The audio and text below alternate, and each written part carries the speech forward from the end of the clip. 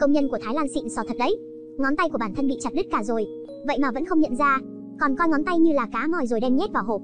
Đến lúc phát hiện ra thì hộp đã được đóng kín hết và bị đưa tới những siêu thị lớn trong địa phương. Vì để tìm lại ngón tay, O chỉ đành mỗi ngày đều tới siêu thị mua cá hộp.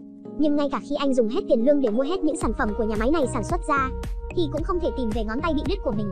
Có công nhân như vậy chắc chắn ông chủ quý phải biết. Ngay khi mà Po định từ bỏ, thì có âm thanh quen thuộc truyền tới từ cửa hàng tạp hóa bên cạnh. Xem ra tuy ngón tay này đã bị lìa ra nhưng nó vẫn giữ thói quen thích gõ. On mua cá hộp về và thuận lợi gắn lại ngón tay. Nhưng ngày hôm sau khi làm việc, anh phát hiện ngón tay này có vài điểm không đúng lắm. Quay đầu lại nhìn thấy vị đồng nghiệp ở bên cạnh đang dùng ngón tay trỏ gõ lên trên bàn. Ôi mẹ ơi, thì ra ngón tay của mình đã bị người khác lấy đi rồi. Hơn nữa thanh niên này còn định dùng ngón tay của On để móc mũi, tầm chết đi được ấy. Sau một hồi tranh chấp qua lại, ngón tay ban đầu cũng về với con. Cũng chính vì lần trùng hợp này, mà anh cũng quen được người bạn đầu tiên trong thành phố là Iod. Hai người đều không chịu nổi dây chuyển sản xuất nhanh như tốc độ ánh sáng đó, càng không muốn ngón tay mình bị cắt đi lần nữa. Thế là họ cùng nhau xin nghỉ việc và rời khỏi đó. Không lâu sau, On làm bảo vệ, đồng thời phải lòng cô nhân viên dọn vệ sinh dinh. Đây là một cô em đến từ vùng quê, bị mắc chứng ám ảnh cưỡng chế vô cùng nặng. Những nơi mà cô nhìn thấy đều phải sạch sẽ không một hạt bụi. Những đồ vật trước mắt cô đều phải sắp xếp cho ngăn nắp gọn gàng. Mỗi khi rảnh rỗi, Jin sẽ mở cuốn sách màu trắng rồi đọc vô cùng nghiêm túc, nhưng nực cười ở chỗ, trong sách viết gì cô đều không hiểu. Năm mười mấy tuổi, có một chiếc máy bay gặp sự cố bay qua thôn làng. Cuốn sách màu trắng đó đúng lúc rơi xuống dưới chân của Jin. Chẳng lẽ đây chính là thiên thư trong truyền thuyết ư? Chẳng lẽ cô chính là người được trời chọn sao? Từ sau ngày đó, bất kỳ lúc nào ở nơi đâu, Jin đêm đều đem theo cuốn sách màu trắng đó theo. Cô cảm thấy chỉ cần có thể đọc hiểu nội dung trong sách thì sẽ có thể thay đổi cuộc đời. Thế là Jin tới Bangkok làm việc. Cô đưa sách cho đồng nghiệp xem. Đồng nghiệp của cô đều không hiểu. Cô lại đưa sách cho sếp. Sếp cô lật qua lật lại dường như có hơi chán ghét. Sau đó lắc đầu rồi trả lại sách cho Jin. Điều này khiến cho Jin càng thêm chắc chắn rằng người bình thường quả thực đọc không hiểu thiên thư thần bí này. Đồng nghiệp ai nấy đều cười nhạo sau lưng Jin. Thế nhưng Po lại thấy cô vô cùng đặc biệt. Ngay cả dung đùi cũng vô cùng có sức hút. Chỉ là anh vẫn chưa đủ dũng khí để nói ra lòng mình cho cô biết. Cho đến buổi sáng ngày hôm đó, tài xế NavKNG tới đón Po như thường lệ. Po bỗng phát hiện ra sắc mặt của ông anh này trắng bệch đến lạ thường. Anh sao thế? Mặt trắng bệch như người chết ít. Vì tôi đã chết rồi. Ngày đó Bangkok đổ trận mưa lớn.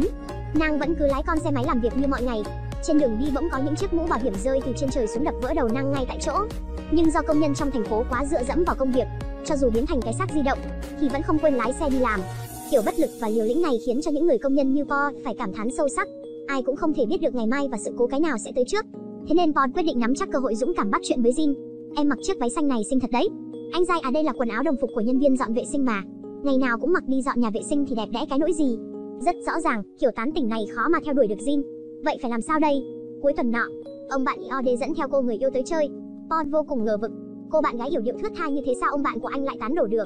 Iode nói cũng không khó lắm, chỉ là vài lần cùng nhau chen chúc trên xe buýt thôi à. Xe buýt ở Bangkok quả thực chen muốn ngạt thở. Nhưng trong cái tòa hành khách nhỏ hẹp này, hai người họ đã nảy sinh tình cảm với nhau. Còn chen chúc nữa thì thành vợ chồng với nhau luôn đấy. Sau đó hai người xa lạ ngày nào cũng hẹn nhau đi xe buýt. Mấy trăm tấm vé này chính là minh chứng. Tình yêu của họ cuối cùng cũng tu thành chính quả rồi. yod khuyên Pon dùng cách này để đi tán Jin. Pon cũng quyết định sẽ thử một lần xem sao. Chúng ta cùng ngồi xe buýt về nhà em nhé. Không, em bị dị ứng với xe buýt. Pon ngây người trong giây lát, cái lý do này cũng thẳng thắn quá đi. Cuối cùng Jin đồng ý cùng ngồi tàu về nhà. Tuy nhiên khi ở trong xe thì họ không phải chen chúc nhau đứng, dẫn tới kế hoạch ban đầu thất bại. Nhưng có cơ hội đưa Jin về nhà đã được lắm rồi. Hai người vừa mới ra khỏi bến xe thì cánh tay của Jin bắt đầu ửng đỏ. Thì ra lý do dị ứng với xe buýt là thật. May mà lần này vẫn còn nhẹ. Đúng là chẳng phải công chúa nhưng lại mắc bệnh công chúa mà. Giờ đây cô công chúa này thuê một căn nhà, mỗi tháng đều phải trả 500 bạt Thái, khoảng 400.000 VND. Cô ấy không có bạn bè, bởi cô thấy người khác sẽ xem thường sự giản dị của bản thân. Bạn bè thực sự sẽ không coi thường em đâu. Vì để chăm sóc cho Jin, On lại bỏ nghề bảo vệ để làm tài xế taxi. Ngày nào cũng đưa đón Jin đi làm. Tuy rằng Jin không hiểu được ý của Pon, thế nhưng khi thấy cô không phải buồn phiền vì bị dị ứng nữa, Pon thấy vô cùng vui mừng. Trong khoảng thời gian này, có một vị khách vô cùng đặc biệt lên xe của anh. Hắn vừa lên xe đã bắt đầu liếm láp khắp nơi. Đồng hồ, kính chiếu hậu, túi tài liệu, bộ đàm. Đầu đầu hắn cũng không bỏ qua. Ngay cả bộ dâu quai nón của con mà hắn cũng muốn liếm thử. Gặp phải tài xế khác thì thằng cha này chắc chắn sẽ bị đập cho một trận nhớ đời rồi. Nhưng Po lại thấy vị khách này trông thật giống với một chú chó đáng yêu. Dùng cách liếm láp đi lấy lòng nịnh hót người khác. Anh có lòng tốt nên đưa hắn về nhà. Nào ngờ đâu bố già này càng liếm càng ghê. tivi, bát đĩa, giày da, đồng hồ báo thức trong nhà, thậm chí ngay cả thùng rác và nền nhà, hắn cũng không bỏ qua. Lúc này, nịnh nọt và đáng yêu quá mức đã biến thành cảm giác buồn nôn chán ghét. Po không thể nhịn nổi nữa, anh liền trói hắn lại. Do ông anh này đã mất trí nhớ, thế nên Po chỉ đành dẫn theo đi làm với mình. nhưng lại hại những hành khách khác thảm vô cùng. Một lần nọ sau khi hắn dọa một bà cô bỏ chạy còn đuổi theo bà ấy, từ đó cũng không xuất hiện nữa. Qua một khoảng thời gian tiếp xúc với Jin, cuối cùng Paul cũng lấy hết dũng khí tỏ tình với cô. Nhưng Jin lại nói, muốn có thể diện để mà sống tiếp trong cái thành phố này, thì buộc phải sống giả dối giả tạo như người ta. Giờ đây hai chúng ta đều không làm được điều ấy, ngay cả việc sinh tồn cũng là vấn đề còn tư cách gì mà nói đến chuyện yêu đương kết hôn kia chứ. Trong phút chốc Paul cảm thấy mình như bị cả thế giới này ghét bỏ, cũng mất đi ý nghĩa sống. Quay về phòng anh lấy rèm cửa đã buộc sẵn chuẩn bị tự sát, nhưng vào lúc này, trên bóng đèn bỗng xuất hiện một con thạch sùng đầu người. Con thạch sùng này không ai khác, chính là bà nội đã mất từ lâu của Paul. Bà nói khi cho cốt của bà rắc xuống sông thì bị một con cá chê nuốt hết. Không lâu sau con cá chê ấy bị người ta đem đi nướng, rồi vào bụng của ba cậu bé. Ba cậu bé ấy tới ruộng lúa đi vệ sinh tiện bón phân cho cây lúa. Thu tới, khi lũ châu chấu ăn hết thóc, chúng bị nông dân bắt lấy bắn tới Bangkok làm món ăn vặt. Còn Po lại mua chúng phải một con châu chấu trên dầu đó. Sau đó lại bị thạch sùng trong nhà ăn vụng. Khi con thạch sùng ấy kết hôn sinh con, con đẻ ra chính là bà của Po. Ngày nào bà cũng đều bắt mũi giúp Po, để anh biết rằng mình không hề bị thế giới này bỏ mặc. Người đã ra đi chẳng qua chỉ là đổi một cách khác tiếp tục tồn tại mà thôi. Po bỏ đi ý định tự sát. Đồng thời khi ấy cuộc đời của Jin cũng xảy ra thay đổi lớn. Cô tình cờ gặp được một người đàn ông ngoại quốc đeo kính ở trên đường. Trên tay người đó cầm một cuốn sách màu trắng giống y hệt của cô. Còn chưa kịp đi tới bắt chuyện, thì người đàn ông đó đã bị cảnh sát đuổi đi. Tiếp đó cô nhìn thấy tin tức truy nã kẻ biểu tình bảo vệ môi trường trên TV. Jin cho rằng người đàn ông ngoại quốc kia chắc chắn là người của chủ nghĩa bảo vệ môi trường. Còn nội dung trong cuốn sách trắng này cũng nói về bảo vệ môi trường nốt. Thì ra đây chính là sứ mệnh mà ông trời đã sắp xếp cho cô. Sau đó Jin bắt đầu tham gia vào đoàn biểu tình.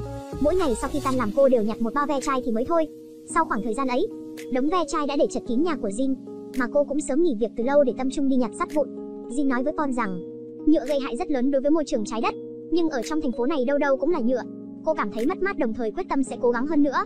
Từ đó Jin tham gia vào đoàn tình nguyện xanh, cũng không bao giờ đi những phương tiện giao thông công cộng nữa, nữa. Không lâu sau, lon nhựa đã chất thành núi, còn Jin thì cũng trồng đủ các loại cây để cứu lấy trái đất này.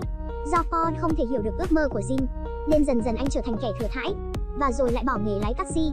Sau khi trải qua một khoảng thời gian vô cùng mơ hồ, Paul phát hiện ra, ngọn núi chai nhựa mà Jin ước mơ giờ đây đã cao chọc trời, trở thành nơi cao nhất của Bangkok.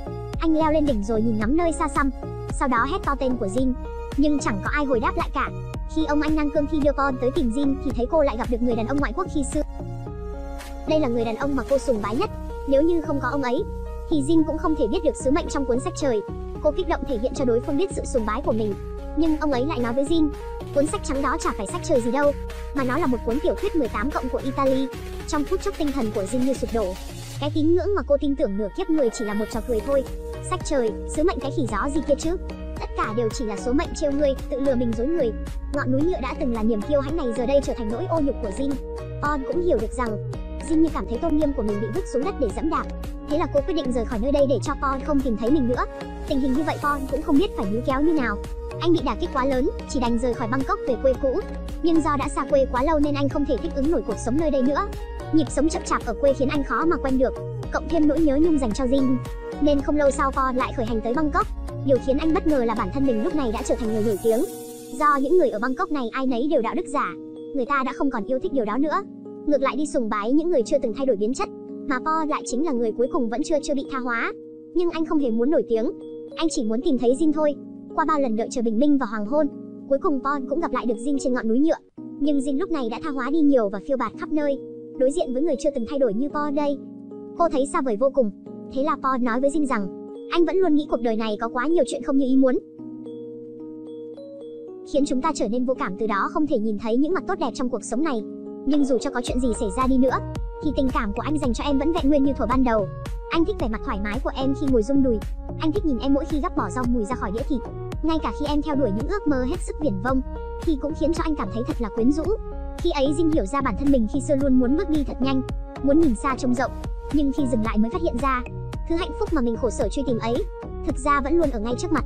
Thế nhưng giờ đây Paul nổi tiếng rồi liệu có còn coi cô ra gì không? Nếu chúng ta kết hôn thì anh có thay đổi không?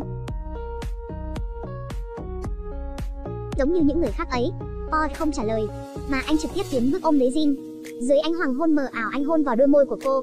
Từ giây phút ấy, Bangkok không còn xuất hiện những người như Po nữa. Nửa năm sau, núi nhựa trở thành địa điểm du lịch hot nhất của Bangkok.